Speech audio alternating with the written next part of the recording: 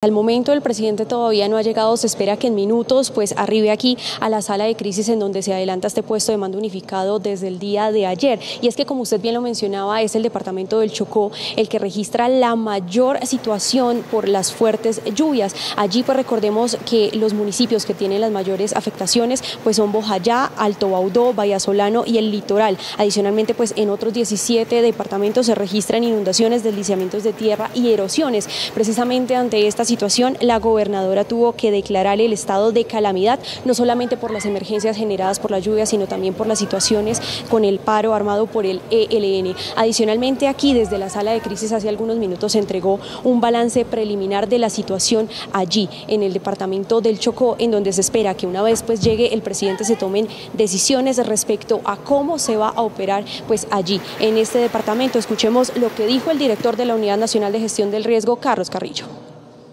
Vamos a evaluar la posibilidad de declarar el desastre nacional. También el presidente ha hablado en su cuenta de X de la declaratoria de emergencia. esos puntos, por supuesto, se van a abordar en el PMU que vamos a hacer y, de ser necesario, convocaríamos también el Consejo Nacional de Gestión del Riesgo en caso de que el señor presidente decida decretar el desastre nacional.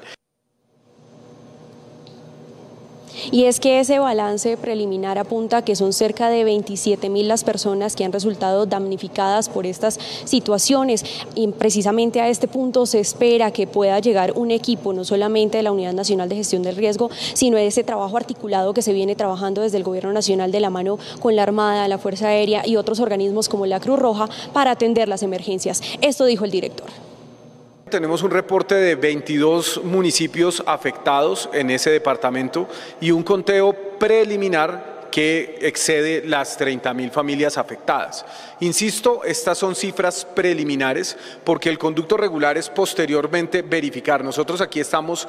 Eh, cuantificando unas cifras desagregadas entregadas por los municipios, pero estas cifras deben consolidarse. Así que pues esperamos que sean eh, menos familias, sin embargo estamos hablando de una cantidad muy significativa de colombianos que han sido afectados por esto. De otro lado, también entregó un balance preliminar de las situaciones a nivel nacional en donde se habla, pues son cerca de 47 mil personas en el territorio pues que han registrado algún tipo de afectación por cuenta de las lluvias, deslizamientos, entre otras situaciones.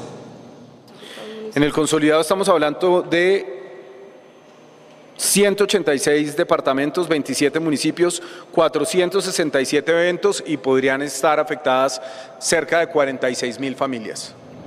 Si esta noticia le interesa y quiere mantenerse actualizado de lo que ocurre en Bogotá, lo invitamos a suscribirse a nuestro canal de YouTube.